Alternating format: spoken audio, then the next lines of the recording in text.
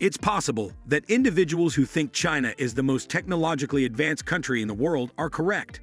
About 20 years ago, China and the US were at different ends of the AI research spectrum.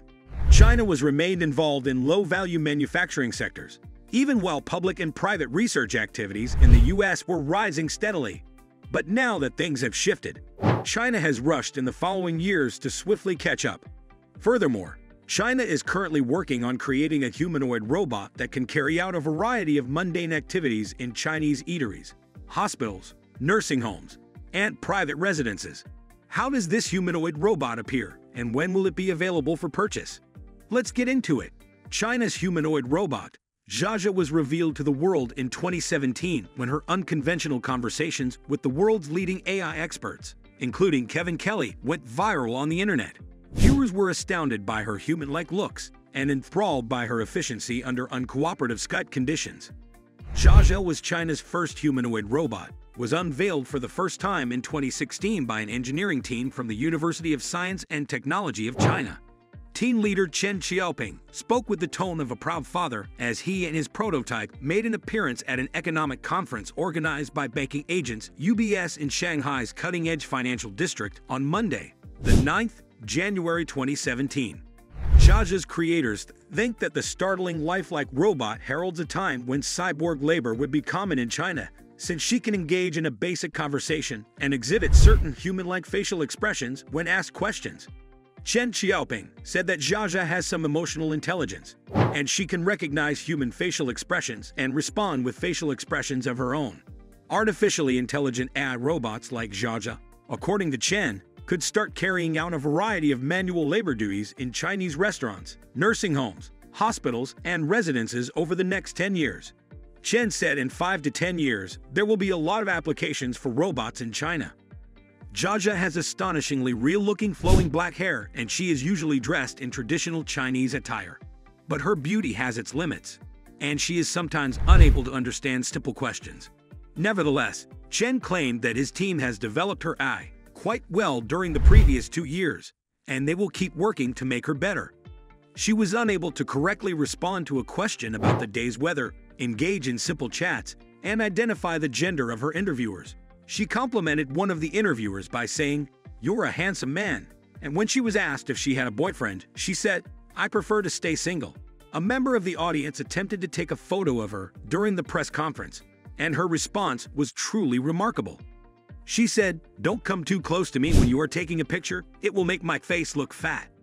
Zha stands out from previous models because of the freedom with which her eyes travel across the room and the near-perfect synchronization of her lip movements with her words. The project's completion and Zha's transformation into a robot woman took the team a total of three years. Now, in order to upgrade the model and possibly create Zha 2.0, the team is working to fix and enhance some features. Her hands will be given more adoptable appearance, so they won't look like mannequin hands. Jaja is incapable of laughing or crying, so the team also aims to include these abilities in the next model. A higher level of human interaction and response is also something that they want to teach Jaja. There aren't any firm plans to mass-produce her yet because she's regarded as a priceless innovation. But maybe we'll be able to have meaningful interactions with humanoid robots in the not-too-distant future. Although Zha is definitely not perfect yet, Chen believes that humanoid robots like her have a promising future in China. He claims that rising income was pushing many young Chinese away from waitressing and other service-related occupations, while an aging population would want more staff in hospitals and nursing homes, even if those hands weren't human. Chen also displayed a video that showed a less lifelike but more functional robot making and serving tea to some members of his team at his university lab in Anhui, China's easternmost province. Chen also brushed aside science fiction worries about robots becoming too intelligent for our own good. He said, as long as this is done in a step-by-step and controlled manner, I don't think there will be a big impact on society. It won't harm human beings. The Chinese people, and the world really was hit with another shocking artificial intelligent robot appearing in 2019 when a robot named Xinjiang became the first female robot to anchor a news station. China again proved its technological prowess in artificial intelligence. It's an intriguing one-minute video presentation by Xinhua. The artificial intelligent robot named Xinjiang was seen sporting a short haircut, a pink blouse and earrings. This humanoid robot newscaster imitates human facial expressions and mannerisms to convey a story about delegates traveling to Beijing for an annual parliament gathering.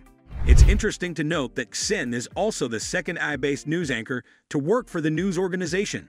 The search engine, Sogou, assisted the creation of Xin's Hamming, and she was designed to look like the real-life Xinhua newscaster. Zhou Ming said in a video posted on Twitter, Hello to everybody who's watching. Then she went on to introduce herself as the broadcaster for China's two-session political conference in March 2019.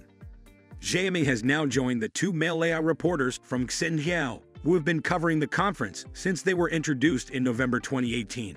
Xinhua revealed that her male colleague, Xin Xiaohao, has received an upgrade as she introduced herself to the world.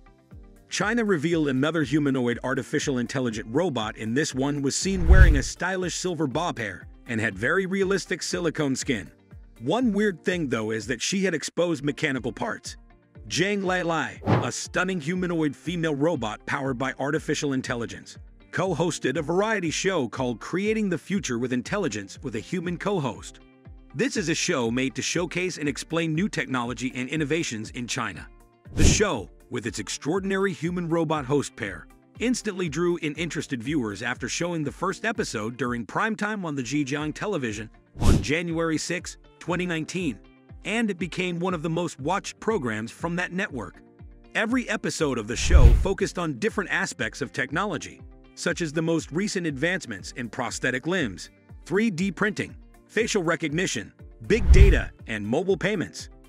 Zhang Lai Lai, the female robot anchor of Zhejiang Television, was 18 years old in 2019 and enjoys singing, comic book reading, and eating snacks, according to a banner that introduced her.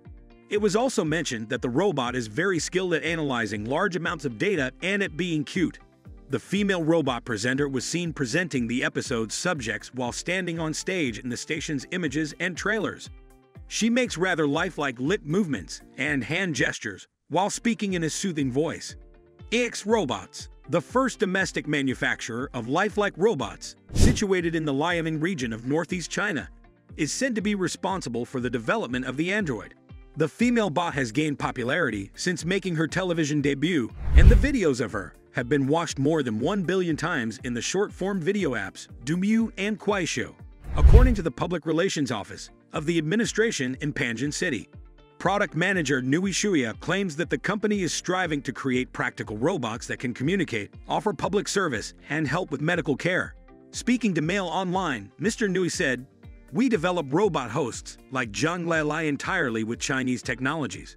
From the design to building the hardware, as well as developing AI and software algorithms and assembling.